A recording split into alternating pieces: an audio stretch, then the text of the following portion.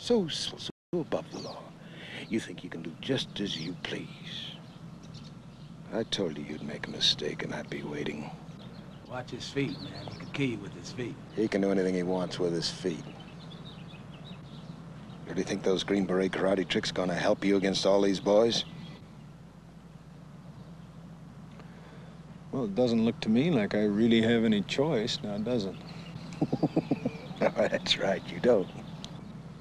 You know what I think I'm gonna do then? Just for the hell of it. Tell me. I'm gonna take this right foot and I'm gonna whop you on that side of your face.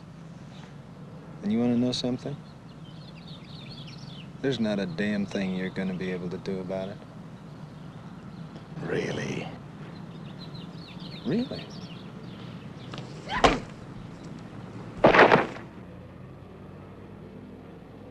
That Indian son of a bitch.